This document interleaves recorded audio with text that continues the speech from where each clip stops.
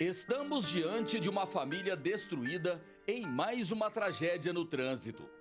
Do pequeno apartamento que foi adquirido à prestação na região oeste de Goiânia, encontramos a Tairine e os três filhos inconsoláveis.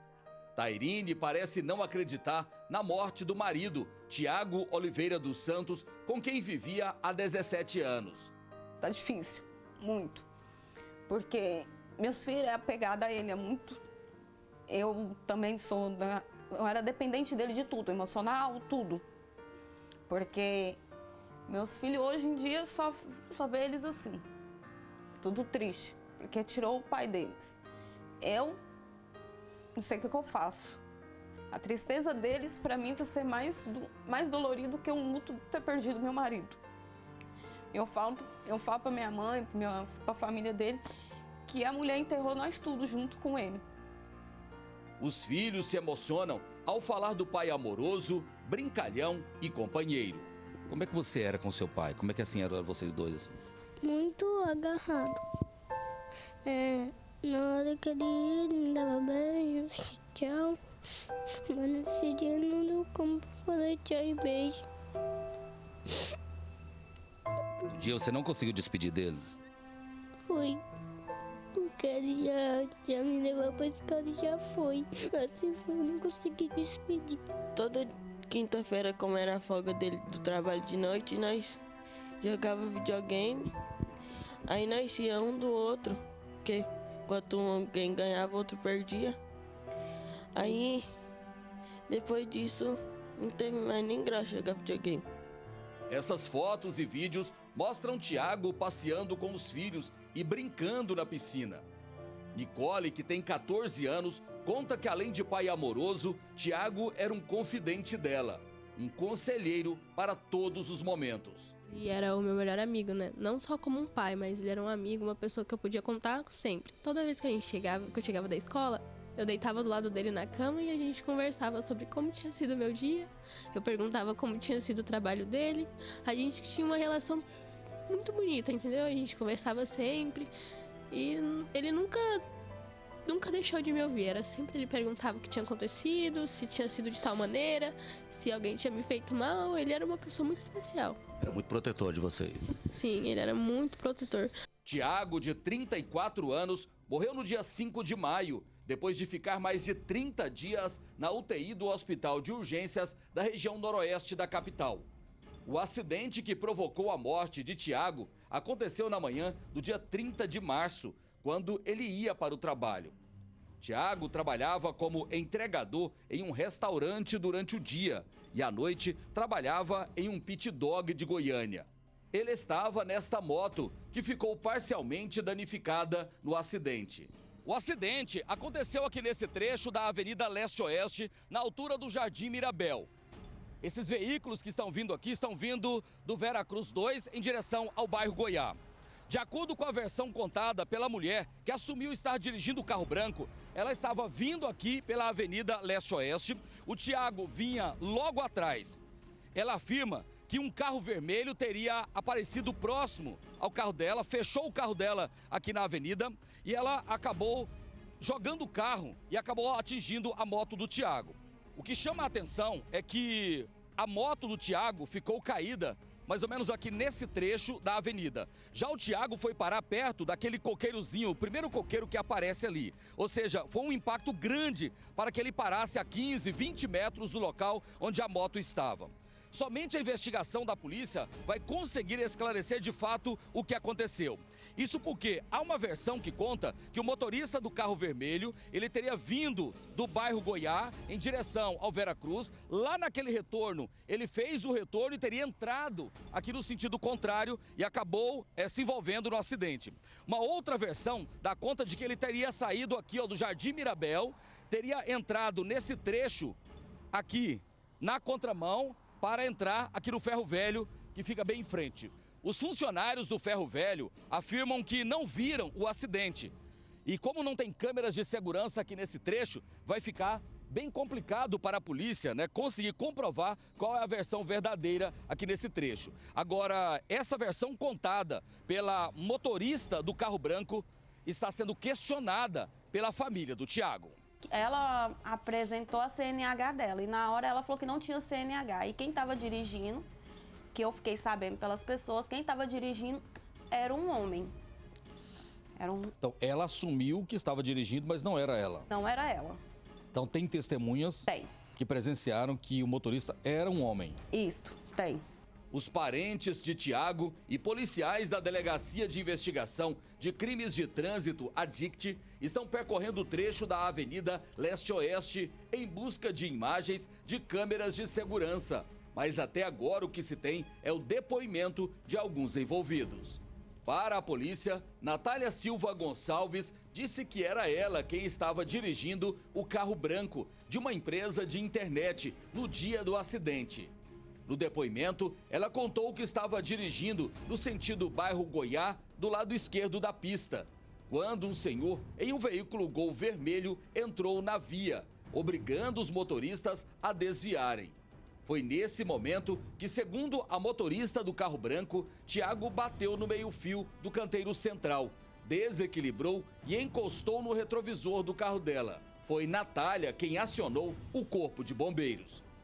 O motorista de um outro carro, uma Paraty verde, que teria se envolvido no acidente, fugiu do local antes da chegada da polícia. A polícia não conseguiu identificar essa Paraty verde, que estaria trafegando no mesmo sentido, entre o conjunto Veracruz 2 e o bairro Goiá. Primo de Tiago, Robson tem um lava-jato que fica a 500 metros do local do acidente. Avisado por amigos, ele chegou na Avenida Leste-Oeste quando Tiago ainda estava sendo socorrido pelos bombeiros. Robson conta que para ele, a mulher que assumiu estar dirigindo o carro branco teria contado outra história.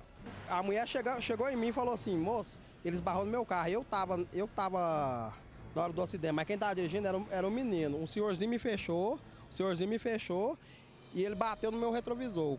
O Thiago bateu no meu retrovisor e caiu. Só que ele tava devagar, ele tava devagar, não tava correndo.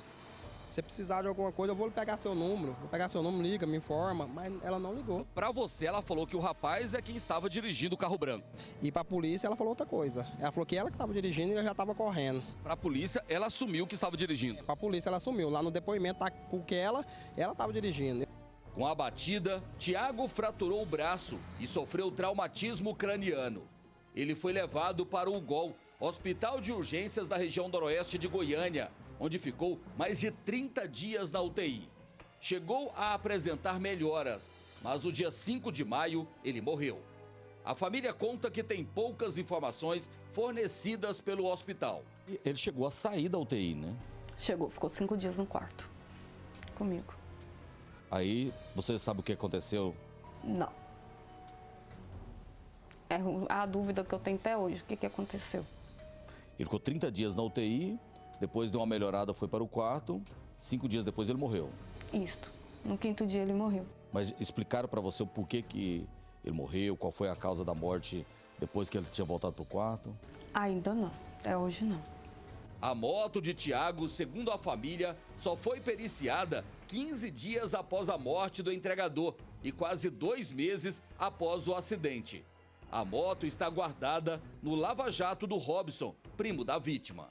Essa versão contada pela mulher que assumiu estar dirigindo o carro branco é questionada pelo Robson. Isso por causa da situação da moto. Robson, o que, que te faz acreditar que o Thiago não bateu na traseira do carro da mulher que estava dirigindo?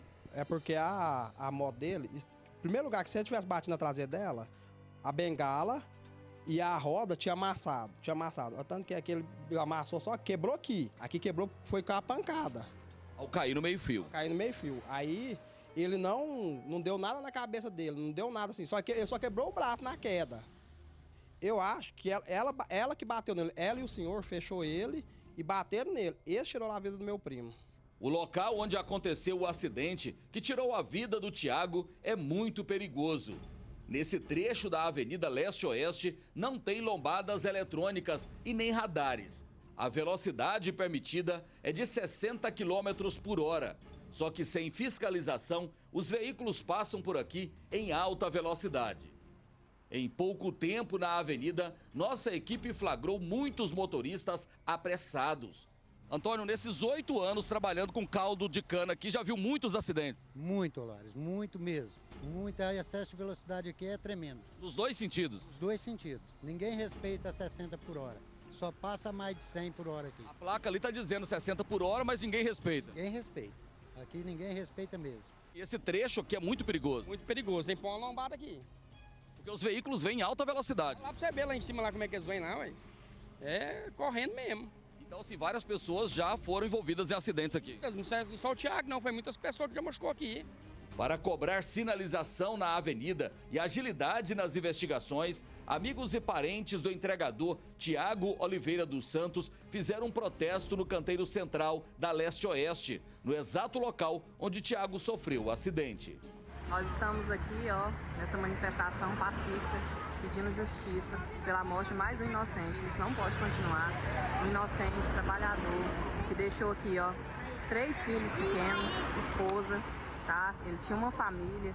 E tudo isso aconteceu por falta de sinalização, por imprudência. Então nós pedimos justiça para ele. A mulher de Tiago denuncia que a Polícia Civil só começou a investigar o acidente depois que a família contratou um advogado. No dia do acidente, policiais civis não estiveram no local. A delegacia que investiga crimes de trânsito teria informado para a família que só poderia ir ao local se tivesse ocorrido morte no dia do acidente. Como Tiago foi socorrido com vida, a família deveria registrar um boletim de ocorrência para que a polícia pudesse investigar o caso. Esse boletim só foi feito após a morte do entregador. Tairine revela que o marido tinha muitos planos. Trabalhava em dois empregos para conseguir montar o próprio negócio e dar qualidade de vida para a família. Sonhos que foram interrompidos por causa de mais um acidente de trânsito. Além da dor e da tristeza, a família do entregador tenta agora se reerguer, já que Tiago era quem sustentava a casa e a família. Daqui para frente, só Deus para saber. Só Deus. Que a gente não sabe como é que vai ser. Ele era o provedor? Era. Ele era o que cuidava de tudo. De tudo aqui dentro. Até das, do, de tudo, da minha saúde, da saúde dos meus filhos. Eu não sei o que eu vou fazer.